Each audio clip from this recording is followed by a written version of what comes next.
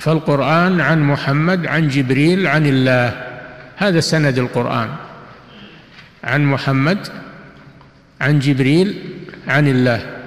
كما قال سبحانه وتعالى إنه لقول رسول كريم ذي قوة عند ذي العرش مكين مطاع ثم آمين. هذا كله في جبريل أوصاف لجبريل عليه السلام. ثم قال وما صاحبكم يعني محمد صلى الله عليه وسلم وما صاحبكم بمجنون كما تقوله الكفار.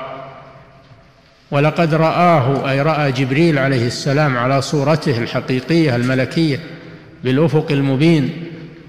رأى جبريل وهو في الأفق على صورته ورآها في بطحى مكة ورآه مرة أخرى ليلة المعراج عند سدرة المنتهى. ولقد رآه نزلة أخرى. أي رأى جبريل عند سدرة المنتهى ليلة المعراج.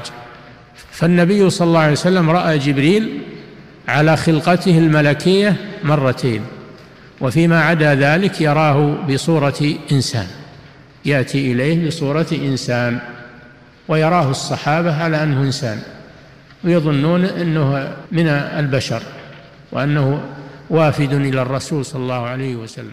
نعم.